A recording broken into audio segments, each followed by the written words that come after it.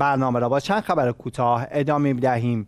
رسانه های پاکستانی از بازداشت دست کم 41 تن از مهاجران افغانستانی در آن کشور گزارش دادند. اکسپرس تریبون روز سهشنبه 21 شهریور گزارش داده است که این افراد از شهر مرزی بلوچستان به شکل غیرقانونی وارد شهر کراچی آن کشور شده بودند. در میان افراد بازداشت شده زنان و کودکان نیز حضور دارند. دو روز پیش هم پلیس پاکستان 121 مهاجر افغانستانی را در شهر کراچی بازداشت کرده بود.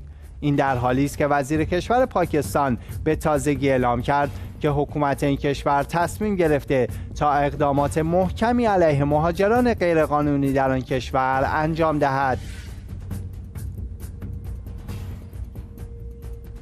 مسجد و حسینی آلیاسین از مراکز مرتبط با دفتر مرجع عالی قدر. آیت الله العظما سید صادق شیرازی در شهر سیدنی کشور استرالیا در ادامه فعالیت‌های خود در ماه‌های محرم و سفرالاحزان 1445 ضمن برگزاری مراسم‌های عزاداری به احیا و بزرگداشت دهی محمدیه می‌پردازد.